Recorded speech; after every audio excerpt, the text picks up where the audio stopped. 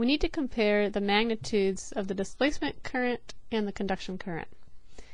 And to, in order to do that, we need an expression for the electric field. So, for convenience, let's develop an expression for the electric field at the origin. So we'll have x is equal to y is equal to z is equal to 0. Let's also assume our electric field is oriented along the z-axis, so we'll have only a z component. And since the electric field is sinusoidally varying, we'll give it some amplitude cosine omega t. So that's the expression for the electric field. Then we can say the conduction current density amplitude is sigma Ez and the displacement current density epsilon naught epsilon r dEz dt. Now it's hard to directly compare these in the time domain because of the time derivative. So instead let's compare these two currents in the sinusoidal steady state. When we convert to the sinusoidal steady state we're going to take the Fourier transform of both expressions and we're going to get j omega for our time derivative. So here we're going to get uh, epsilon naught epsilon r magnitude of j omega and Ez and that is the phasor. So the magnitude of j is 1. So you get epsilon naught epsilon r omega and the amplitude of E, uh, which is actually just e naught. So I'll write that as E naught.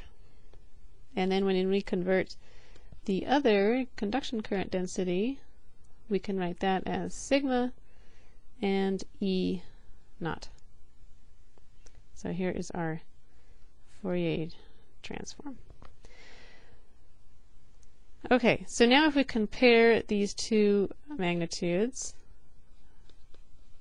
come up with a ratio here of conduction current to displacement current, and we will get sigma E naught over omega epsilon, I'll combine those again just for convenience, uh, at E naught. Those can cancel, and we just get sigma over omega epsilon. In other words, this ratio we just came up with sigma over omega epsilon. That is the loss tangent. And it's um, this ratio, if it's really large, say if it's greater than 100, the numerator dominates, meaning that the magnetic field of the electromagnetic wave propagating through the ground is primarily generated by conduction current. So I'll say conduction current density dominates. This 100 isn't a hard cutoff, it's just what the book is, and maybe it's oftenly used. Often used. Alright, if the value is very small, say less than 0.01, then we can say the displacement current dominates. So then the magnetic field of the electromagnetic wave propagating to the ground would primarily be generated by displacement current. So now for the ground, if we plug in our numbers, we can plug in numbers for sigma and omega and epsilon. Let's say at 1 megahertz, we're going to get sigma over omega epsilon is about equal to 1.8. So there's you know, nearly twice as much conduction current as there is displacement current, but we don't fall into one of these regimes, so we can't classify the ground as being a good conductor or having having a conduction current that dominates or a displacement current that dominates.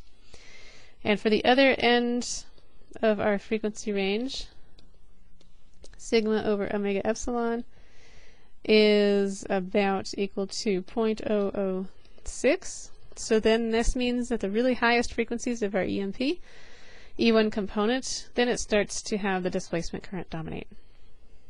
So let's get back to our measurement setup now. Now we can start to think about how the electromagnetic wave will interact with the wood platform that we're considering using. First, we can think about whether the wood, uh, whether we have the displacement current or the conduction current would dominate in the wood. And let's look over the frequency range from 1 to 300 megahertz. And uh, it, um, the relative permittivity, I'll remind you, is it will say it's about 2 for this dry wood. And the um, conductivity is on the order of 1 e to the minus 15 Siemens per meter. So go ahead and calculate the loss tangent and see which term dominates.